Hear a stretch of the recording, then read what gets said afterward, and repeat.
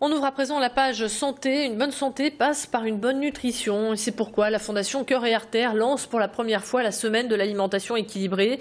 En partenariat avec une grande chaîne de distribution, elle va partir à la rencontre du public à travers un livret de 12 pages qui euh, sera distribué. À l'intérieur, on y trouve des produits sélectionnés. Les acheter contribue à faire avancer la recherche sur les maladies cardiovasculaires. Le Nord-Pas-de-Calais est d'ailleurs la région touchés par ces maladies. Mathilde Lacroix s'est rendue pour nous dans l'un des magasins partenaires de cette opération. En fin de compte, quand je distribue la brochure, il y en a qui ne sont pas trop intéressés, mais d'autres qui s'intéressent un peu plus, sur, surtout les clients qui achètent bio en fait. Mieux manger pour mieux vivre.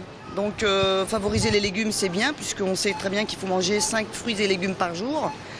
Donc voilà, manger des légumes, c'est très bon pour la santé. Donc à chaque repas, je mets un légume obligatoire.